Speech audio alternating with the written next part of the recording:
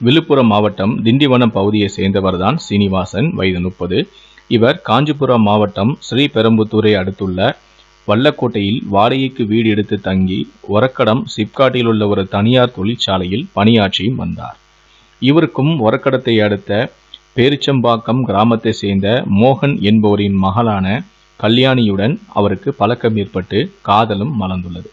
பின்னர் கல்யாணியை திருமணம் செய்து கொள்வதாக கூறி அந்த பெண்ணுடன் சீனிவாசன் தனிமையில் இருந்துவிட்டு பின்பு திருமணம் செய்ய மறுப்பு தெரிவித்து வந்துள்ளார். இது சம்பந்தமாக கல்யாணியின் தந்தையான மோகன் கொடுத்த புகாரின் பேரில் சீனிவாசனை கைது செய்த காவல் ஆய்வாளர் லட்சுமி காவல் ஆய்வாளர் லட்சுமி சீனிவாசனிடம் விசாரணை நடத்தியதை நடத்தியதை அடுத்து நீதிமன்றத்தில் ஆஜர்படுத்தி அவரை சிறையிலும் அடைத்துள்ளார்.